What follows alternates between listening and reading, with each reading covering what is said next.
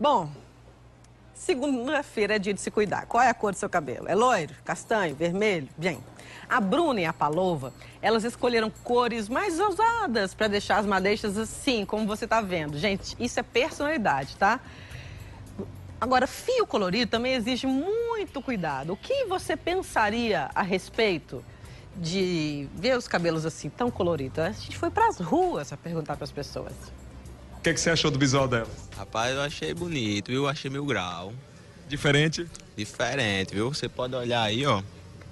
Só tem elas. É. O que eu acho interessante é você querer mudar, fazer novas uhum. é, versões de si mesmo. Geralmente isso acompanha uma mudança interna, uhum. por isso é interessante. Agora, sim, é, eu não colocaria um azul desse, por exemplo. Tem coragem, não? Não, chama muita atenção tudo reflete uma mudança interna mesmo. Bom, a inspiração das meninas vem das telas de TV, não sou eu, tá bem?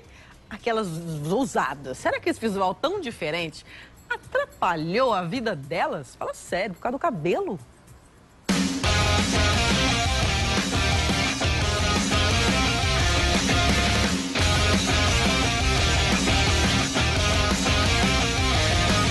Impossível passar por Bruna sem notar o visual diferente.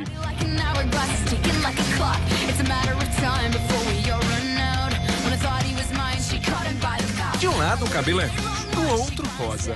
E não foram só essas cores que já dominaram as madeixas. É, já tive cabelo rosa, é, mechinhas rosas, laranja, avermelhado, é um roxo mais puxado para o vermelho e agora parei no roxo com rosa. E faz tempo que os cabelos de Bruna deixaram castanho claro natural de lado. A primeira vez que pintou, ela tinha só 13 anos. É claro que a mudança no visual não foi totalmente bem aceita dentro de casa. Minha mãe, ela sempre foi totalmente a favor, ela mesma pintava meu cabelo tal. A resistência mesmo assim foi do meu pai, né? Meu pai ele olhava assim meio torto, tal, mas acabou acostumando com o tempo.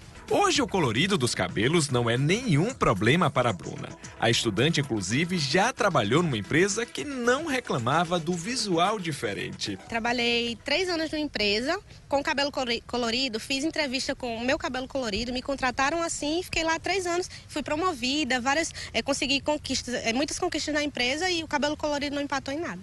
A cor do cabelo também não impediu que Palova conseguisse trabalhar. Pelo contrário, até ajudou.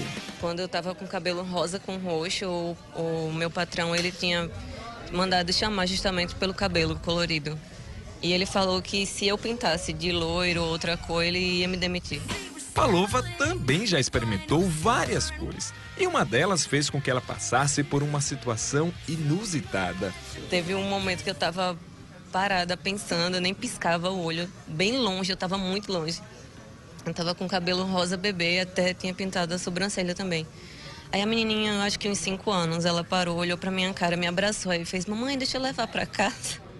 Aí eu tomei o susto, olhei pra ela e falei: Não, pode levar pra casa não. Ela fez: E fala, mamãe, deixa eu levar pra casa. Confundiram com a boneca. Acharam que era uma boneca.